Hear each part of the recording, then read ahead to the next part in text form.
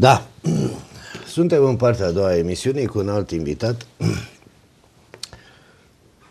Însă o să mai fac uh, doar o foarte scurtă mică paranteză, pentru că, așa cum uh, vă vorbeam la începutul emisiunii, despre imbecilitățile televiziunilor de știri care se umflă, se împopoționează. Uh, Antena 3, cea mai titrată, cea mai premiată televiziune, dar când reporterii sunt cei mai agramați, acolo cum stăm? Aia nu mai ține, reporterii agramați, total agramați, când relatează și vorbesc aiuritor românește. Aia nu se pun la socoteală când sunteți premiați. Că uite, de doi peste unul. Se vorbea despre investiții în uh, solariile care să ne aducă păpică mai ieftină, să nu mai importăm din Olanda, din Angola. Da, aici glumesc. Și el zicea că solarele, în loc de solariile, solarele nu pot fi întreținute. Bine, mai zevzecule. Da, cum să putea spune agramat la zevzec?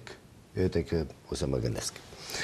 Să spun uh, bună seara și bun venit domnului Cristian Panait, este secretar general al uh, organizației PSD Săcel. Bună seara, bun Bună seara, bine v-am regăsit. Uh, domnia sa mi-a adus un, uh, un cadou, că tot vorbim noi în prima parte de proști și prostie, deci să avem în continuare același uh,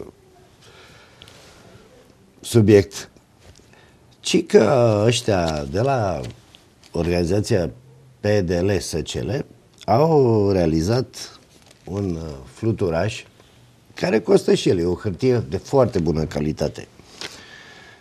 Unde pe fluturaș se face un apel la cetățeanul din Săcele. Stimate cetățean al municipiului Săcele, doresc să-ți comunic faptul că Spitalul Municipal Săcele, pe care ordinarii de la PDL uh, l-au închis, a obținut aprobarea pentru reluarea activității. Ia auzi brâu.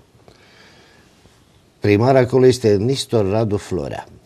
Un băiat docil, cu minte, nu are niciodată o opinie personală. Dacă zice șeful, fă la stânga, el la stânga face, chiar dacă e o groapă.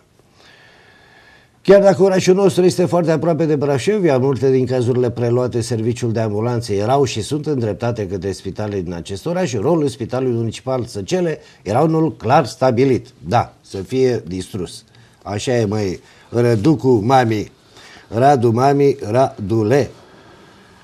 Floarea chestiei unde e. Am fost susținut în demersul meu de primarul Brașovului. El n-a făcut niciun demers. Minciuni ca la Balamuc. Domnul George Scripcaru.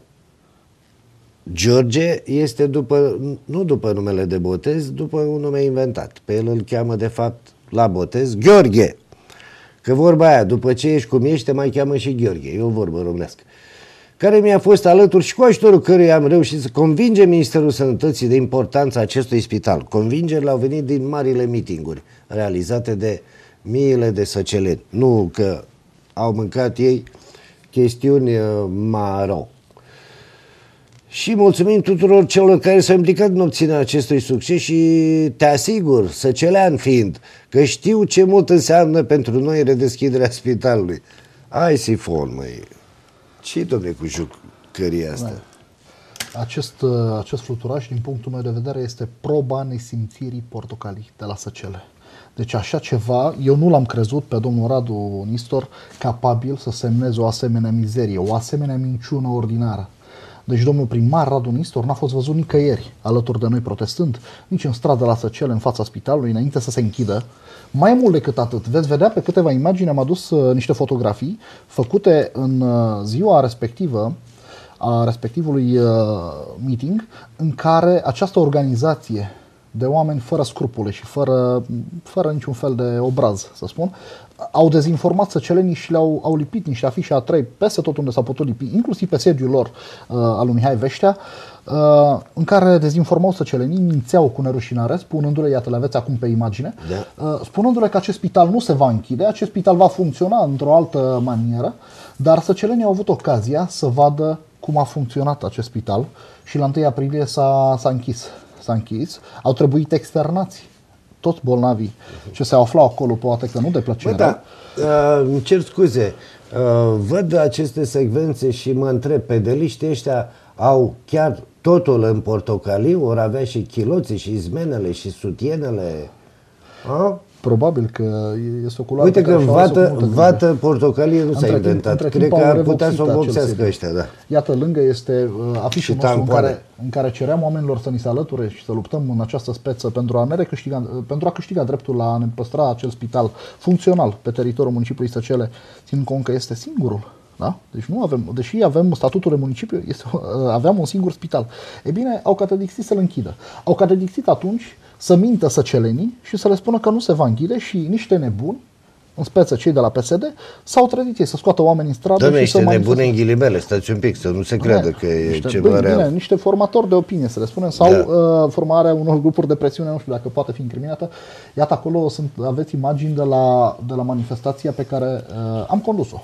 Da, și cu, cu mândrie spun asta, la București, în fața Ministerului Sănătății, în data de 7 decembrie. Aveți acolo în, uh, în dreapta jos, uh, până și data la care noi am fost acolo la, la minister și am depus acel memoriu. Vedeți, am în mână un memoriu pe care l-am adus și aici, l-am cu număr de înregistrare. Uh, împreună cu acest memoriu am depus uh, și câteva mii de semnături la, la minister, plus sentința definitivă și executorie a Curții de Apel Brașov din data de 15 iunie 2011, prin care uh, instanța anula decizia guvernului prin care uh, Aici spitalul nostru- sunteți la București. da, da, da suntem la da. București. Traversam uh, unul dintre bulevardele mari ale capitalei în drumul nostru către Ministerul Sănătății. E bine, a manifestat acolo, până la urmă Ministrul Sănătății Ladislau Ritlin a binevoit să ne primească. Ne-a primit uh, domnul secretar de stat Ieremie Cristian Anton, care ne-a spus în felul următor, nu am știință despre vreo sentință definitivă și executorie care să vă dea dreptul să aveți acest spital funcțional la Făcele. Și atunci eu m-am întrebat ce au făcut primarul, ce au făcut viceprimarul, pentru că vreau să vă spun, primarul este PDL, viceprimarul este UDMR. Iată, vorbesc aceeași limbă cu ministrul sănătății. Adică limba lor maternă este comună și atunci mă gândesc că ar fi fost ușor să comunice, dacă ar fi fost voință. Bun, am înțeles până la acel moment că n-a fost voință și că nu s-a putut. Dar faptul că acum, când în sfârșit, într-un ceas uh, târziu, s-a reușit redeschiderea lui, să vii și să bagi în fiecare cutie poștală o asemenea mizerie care, între, într-o paranteză scurtă, este făcută pe bani publici, pentru că pe spatele ei sunt niște date ale, uh, mă rog, evidența persoanelor, programul uh, de luni până vineri, adresa respectivei instituții, audiența la domnul primar în fiecare marți la ora 14, aș fi foarte curios dacă uh, acordă aceste audiențe. Ei bine, pentru a face aceste, această mizerie pe bani publici, au folosit pe verso chestiunea aceasta. O să iau și eu chestia aia, să dau telefoane în fiecare zi, să întreb de Așa, audiențe. așa, să dați da. telefoane. Eu am să mă adresez uh, cu acest, uh, cu acest document. Sunt multe însă cele, chiar foarte multe în cutiile poștale și uh, mă voi adresa probabil și curțile conturi să văd uh, pe ce bani s-au făcut, dacă s-au făcut pe bani publici sau dacă s-au făcut pe bani privați. Sau Ei pe bine, bani de partid.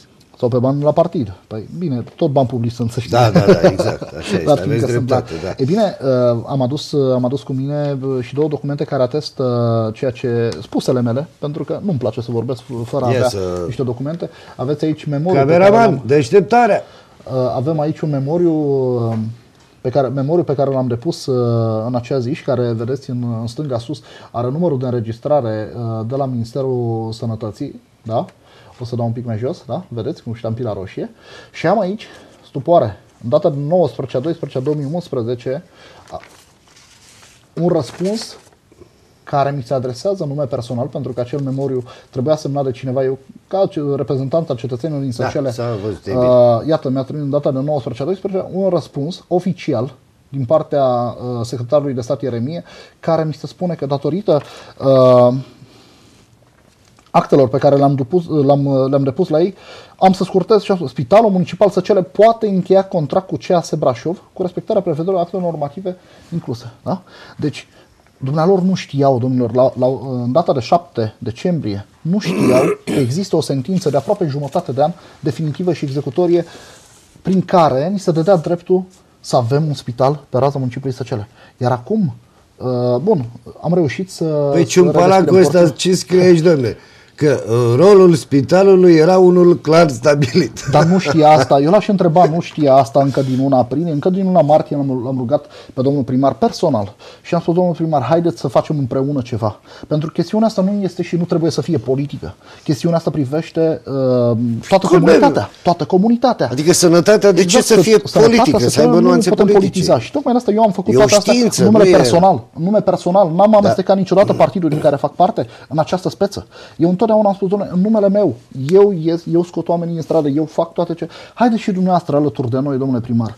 Mai mult decât atât. V-am spus, nu a venit alături de noi, a încercat să ne să dezinformeze și vă spun că au fost la, la acea dată, la primul meeting, zeci, poate sute de oameni care s-au întors din drum și care au recunoscut că s-au întors din drum datorită faptului că au citit acel uh, pamflet pe care, pe care l-au lipit uh, peste tot unde au putut da?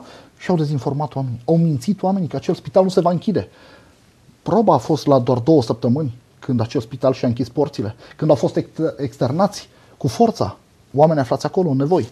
Ei bine, am făcut o altă manifestație la câteva, la două săptămâni, după și le-am arătat în fața spitalului, pe o vreme crânce, ne bătea un vânt extraordinar. Țin minte că și domnul deputat Niță uh, a venit uh, alături de noi acolo și ne-a sprijinit.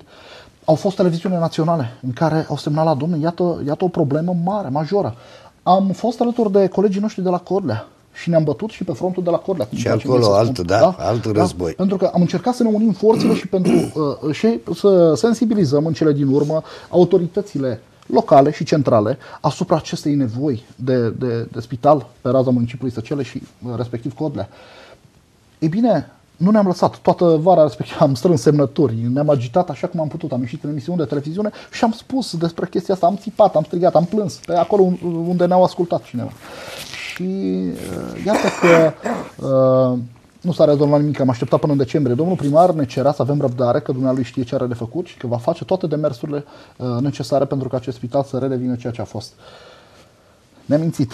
Ne-a mințit de fiecare dată. Ne-a mințit cu nerușinare. Și îmi pare rău pentru că Neru are o vârstă și are o conduită destul de ok în restul timpului. E ca gheasma. Mie așa îmi place să spun. Nu face